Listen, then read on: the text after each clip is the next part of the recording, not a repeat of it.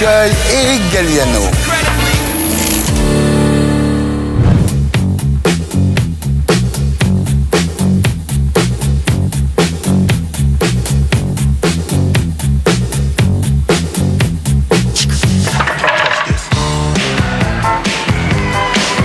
touch this. Can't touch this. Non, attendez, il y a un truc qui va vraiment pas là. Je vous ai donné rendez-vous là tout à l'heure. Hein, je vous ai dit, on se quitte ce matin, on va déjeuner, on revient tous ensemble. Et là, quelle heure il est? Non, mais il n'y a personne sur le plateau. Non, ça va pas ça, il n'y a personne. Ah, ah, ah. Je me suis dit, ils vont être en retard. Bon, écoutez, les canards, on va essayer d'aller là-bas, là. J'essaie d'aller m'asseoir pour pouvoir donner le sommaire de l'émission. Allez, venez avec moi là. Alors, viendez ma bande.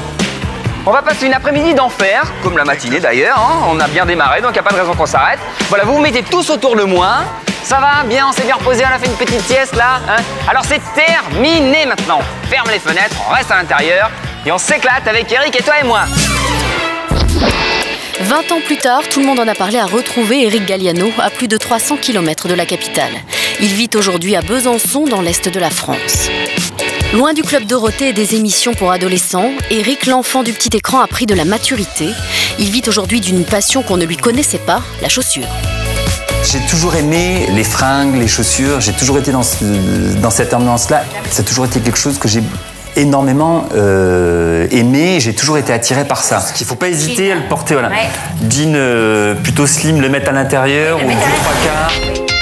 Eric a pris ses clics et ses claques pour vivre de la chaussure et d'amour avec Jean-Marc, son compagnon.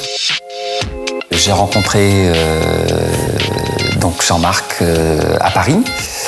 Euh, il me parlait de Besançon, moi je connaissais pas du tout la ville. Au début de notre rencontre, c'est beaucoup lui qui est monté sur Paris. Après, j'étais très curieux de, voir euh, où il était, où il vivait, sa famille, ses amis, etc. Donc je suis venu, j'ai dû venir trois week-ends ici. Et puis euh, le dernier week-end, enfin, le, dernier week-end, c'était dix jours, une dizaine de jours. Je suis jamais reparti. Et voilà, maintenant ça fait sept ans. Donc c'est une histoire d'amour qui m'a emmené ici. Deux modèles. Tu vois, il vaut mieux que tu donnes les clés en disant voilà, ça se porte comme ci, ça se porte comme ça, mais il faut que tu les laisses eux se décider. Ouais, c'est sympa. Il, a- il s'est bien reconverti, on va dire. C'est une belle histoire. C'est une belle histoire. Pas que euh, ça arrive pas tous les jours. Il a bien changé, mais bon, on le reconnaît quand même. On le reconnaît quand même. Toujours le même humour. Ça qui est bien. Bon, Lilian, je vais te laisser. Ouais. Hein, on va aller retrouver nous euh, Jean-Marc sur euh, Parc Mico. C'est ça. Eric a laissé ses goûts de luxe à Paris et profite aujourd'hui pleinement des choses simples comme les voitures anciennes Regarde, en double, en deux chevaux même. et les balades sur les bords du Doubs. Mais il n'oublie pas Paris. Alors en fait, moi j'aime bien ce côté-là de Besançon parce que ça me fait penser avec les deux quais de chaque côté. Peut-être ça le fait encore plus le soir une fois qu'il y a la lumière. Ça me fait penser un petit peu au quai de la Mégisserie à Paris. C'est le côté que j'aime bien. J'ai un peu l'impression d'être un, un peu à la maison, si en même temps. Aujourd'hui, Eric a tiré un trait sur son passé de vedette. Pour autant, sa reconversion n'a pas été facile.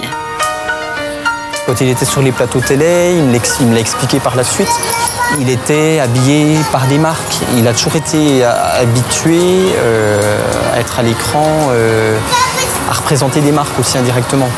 Donc je pense que c'est aussi certainement de là que vient la passion des fringues et de la mode. Et voilà, donc ça s'est fait, je dirais naturellement, mais c'est vrai que c'est une reconversion qui est... Ouais, qui n'a pas été simple et qui a été violente aussi pour lui, je pense, ouais. Je l'ai compris après.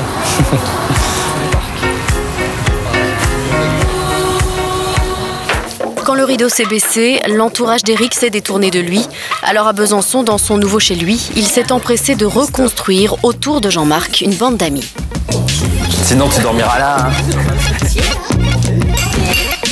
Bah, Eric, euh, oui, animateur, euh, oui, c'était euh, la joie de vivre, dégage toujours autant de sympathie. euh. Je vais essayer de vous trouver des photos, euh, mais c'est enfoui dans la cave, donc je suis vraiment pas sûr d'arriver euh, à trouver quoi que ce soit. En fait, je regarde très très rarement euh, pour que.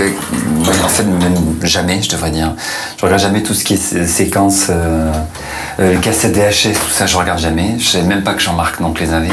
J'ai tout ça dans ma tête et j'ai pas besoin, c'est vrai, de regarder. donc c'est un cafarnaum monumental. Si bougez, j'arrive, hein. C'est caché derrière la porte, je crois. J'ai pas un perfecto énorme là-dessus, là. Voilà. Regarde. Perfecto qui passe 100 fois. oh mon dieu.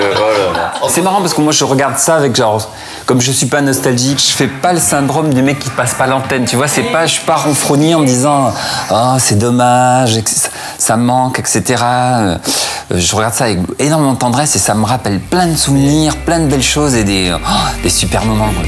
La télévision, une page qu'Eric n'a pas complètement tournée. Mais euh, la télévision ne me propose pas d'émission. Donc si un jour on me propose autre chose, euh, une émission de télévision, là, des choses comme ça, qu'on verra. Et maintenant, la lumière se rallume sur Eric Galliano. Bonsoir. Bonsoir. Bienvenue dans Tout le monde en a parlé, Eric. Merci. Alors, vous êtes né le 12 juillet 1965 à Marseille, Oui. père commercial, Oui. mère institutrice et directrice d'école, enfance sans problème, Oui. dans un petit village entre Aix et Marseille qui s'appelle. Cabriès. Oui. Voilà. Vocation précoce, vous voulez devenir comédien quand même. Au départ, je voulais devenir vétérinaire et puis très vite, euh, oui, j'ai dit à mes parents que je voulais être comédien. Ouais. Et puis ils me disaient, bah d'accord, à Ouais. part ça, qu'est-ce que tu vas faire? Alors, pour rassurer vos parents, quand même, vous passez un CAP de prothésiste dentaire. vous passez aussi le BAFA et vous partez travailler comme euh, JO au club euh, Med. Ouais, à Montgenèvre. Vous n'êtes pas parti bien loin. Non, je suis pas parti très très loin. Ouais, c'est pas le bout du monde. Non, non, non, ça allait. Ouais. Ensuite, vous allez vous perfectionner dans la compagnie de Michel Fugain à Nice. On fait de la danse, Ouais. du chant et du théâtre au même endroit. Ouais. Donc voilà. J'ai passé les auditions, j'étais pris, et ça a commencé comme ça. ouais. Ensuite, vous essayez un peu au café-théâtre. On fait des sketchs avec des copains justement de l'atelier Fugain en sortant de là. On joue dans des bars, des cafés, des choses comme ça. Enfin, la, la vie du comédien qui démarre. quoi, hein. Alors à l'époque, pas question de, de faire de la télé. D'ailleurs, vos profs vous le déconseillent. hein. Oui. Euh, mais comme vos plans de comédien tombent à l'eau, vous faites un casting Mhm. Organisé par TMC. Je me suis dit, bon, passe le casting, ça te fera un training. Donc j'y suis allé comme si j'allais euh, à la boulangerie acheter euh, Ouais. de croissants. Ouais. Alors vous vous trouvez pas bon, Catastrophique. mais vous gagnez. Voilà, oui. Alors là, vous devenez speaker hein, Oui, sur TMC. oui.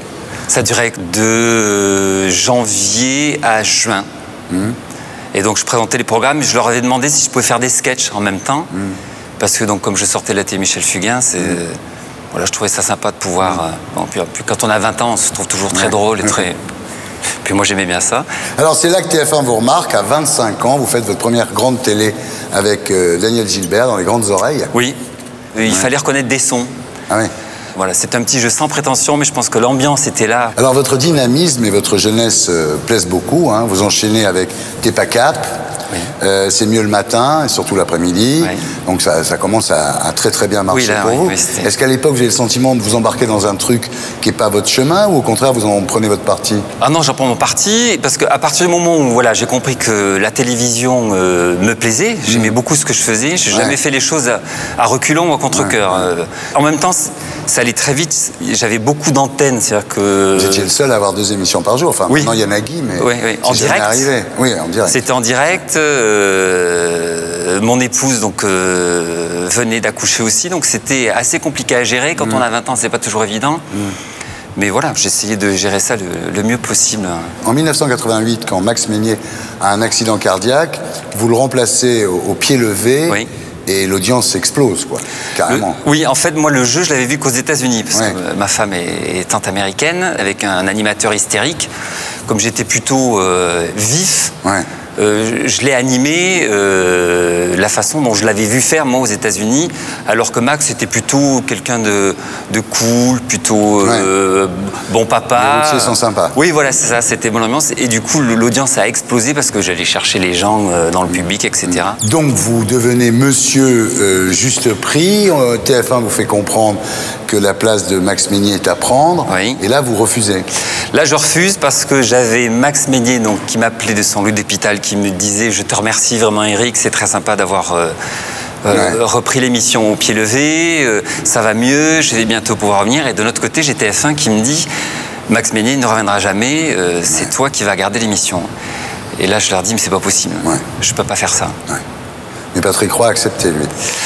Alors, bah, du moment que je leur ai, que j'ai dit non à TF1, euh, moi je m'accrochais à mes talk-shows Ouais. parce que voilà, j'étais plein de rêves. Je leur disais non, moi j'ai mes talk-shows. Je suis parti en vacances aux États-Unis et TF1 a supprimé donc les talk-shows de la grille en se disant de toute façon, quand il va rentrer, il n'aura pas le choix. Ouais. Et quand je suis rentré têtu comme une mule, j'ai dit non, je ne ferai pas le juste prix. Donc ils ont proposé euh, à Patrick Roy qui a fait ça remarquablement. Vous aviez plus de talk-show. J'avais plus de talk-show, Et j'ai voilà. plus rien.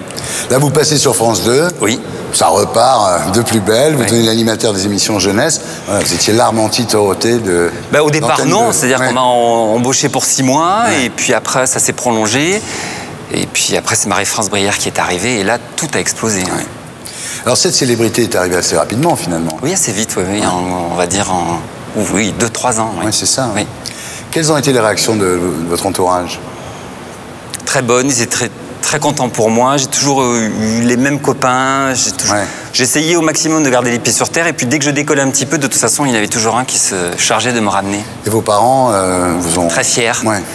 Euh, ma mère a un peu fait la gueule au départ parce que j'étais pas prothésiste dentaire.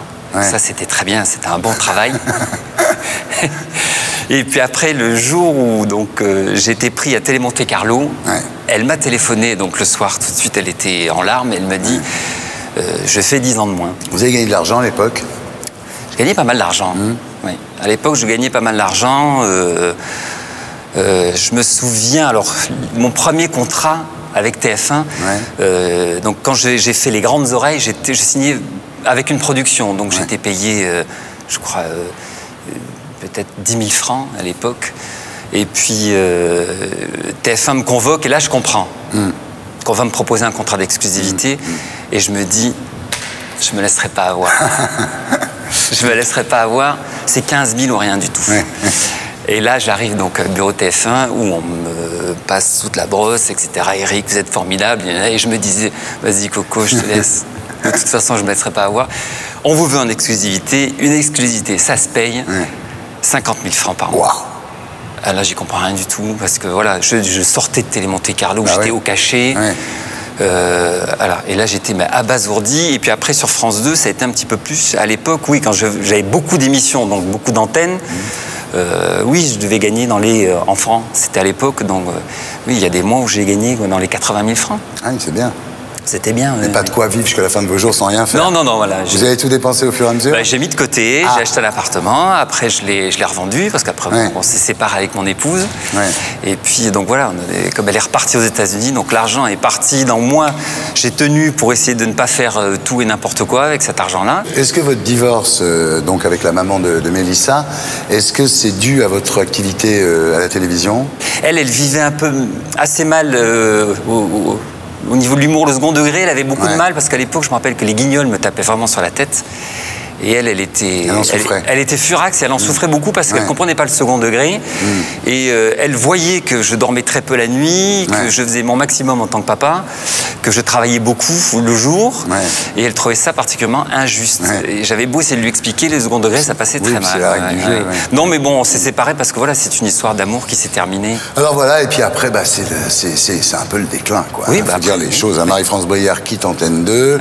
Euh, vous demandez à faire autre chose que des émissions pour la jeunesse, ce qui est normal, parce Oui. qu'à un moment, vous aviez envie de faire, j'imagine, des talk-shows d'adultes. Bah, on m'avait parlé de Ouais. deuxième partie de soirée. Bah hein. voilà, oui, C'était oui, dans mon ça. contrat d'ailleurs. Bien sûr, oui. Et puis bah, euh, l'audience euh, ayant explosé, on me dit Eric, euh, non, non, Ouais. vous allez rester à la jeunesse. Le succès ficelle. Voilà. oui. Alors là, vous rejoignez TF1 à nouveau et vous remplacez euh, Corbier euh, dans le club Dorothée, mais c'est la dernière année du, du club C'était pour la dernière année. Ouais. Dorothée d'ailleurs n'avait pas compris. Je me souviens de la première réunion de travail, elle m'avait dit mais qu'est-ce que tu fous là Hmm. Elle comprenait pas parce que tout le monde essayait de quitter le navire. Hmm. Euh, à l'époque, il était de bon ton de, de, de- de cracher sur Dorothée. Ouais. Et moi, je débarquais. Ouais. Alors là, c'est pas vous qui quittez la télé, finalement, c'est la télé qui vous quitte d'une certaine façon. Exactement. Ouais. Oui, on m'a plus rien proposé. On vous propose rien. J'ai travaillé sur beaucoup de projets euh, qu'on lisait pas, très honnêtement. hein. J'ai demandé des rendez-vous, on me recevait poliment ou on me recevait pas. Au final, Ouais. Voilà, on m'a plus rien proposé. Donc j'ai repris, euh, j'ai pris un autre chemin. Et alors aujourd'hui, donc, euh, on l'a vu dans le sujet, euh, vous avez donc ce magasin de chaussures à, à Besançon, et vous avez l'air très heureux avec. Oui. Jean-Marc, qui a les dents de la chance Oui. en tant que prothésiste raté. J'ai pas voulu y toucher. non, Ah mais ça, on n'y touche pas. Mais Non, c'est trop, c'est trop joli. Vous êtes nostalgique de la grande époque? Non, pas du tout. J'ai vécu des choses tellement bien euh, et, et fantastiques pour en, en quelques années. J'ai j'ai fait de la chanson, j'ai fait de la télévision, j'ai fait du théâtre, euh, euh, j'ai fait des téléfilms, j'ai fait euh, des séries. Donc euh, oui, quand je regarde ça, c'est beaucoup de bonheur et des, des- des souvenirs extraordinaires. Aucune amertume. Si c'était à refaire, qu'est-ce que vous ne referiez pas pareil? J'aurais, au départ, au tout départ, quand Dominique Ancien donc, a quitté Antenne 2 pour venir sur TF1, euh, j'aurais accepté la proposition de Canal+. Parce que pendant plusieurs mois, j'avais euh, Alain de Greff qui m'appelait très souvent pour me dire « Eric, rejoins-nous sur Canal+. Oui. Et pourquoi pas Et j'ai dit non parce que Dominique Ancien a, a peut-être un petit peu plus forcé les choses, m'a un petit peu plus bousculé pour que je, Ah ouais. je, je reste avec elle sur TF1. Et Alain de Greff m'a plutôt laissé faire. hein. S'il m'avait un peu plus bousculé, euh, je serais allé sur Canal+. Voilà. Mais bon, après, il faut jamais regretter. Sur votre tombe, quelle épitaphe vous voudriez inscrire? A vécu heureux. Ouais. Salut les canards aussi. Oui, oui, oui. oui. C'était génial. ça. ben merci Eric, je suis très heureux de rallumer la lumière sur vous. Merci beaucoup. Merci à vous. Merci. Et pour être sûr de ne rien rater de Inarditube, abonnez-vous et mettez un pouce bleu.